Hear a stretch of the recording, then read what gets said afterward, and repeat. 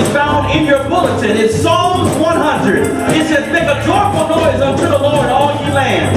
Serve the Lord with gladness. Come before his presence with singing. Know ye that the Lord, he is God, and is he that made us, and not we ourselves. We are his people and the sheep of his pasture. Enter his gates with thanksgiving, and enter his courts with praise. And be thankful unto him and bless his name.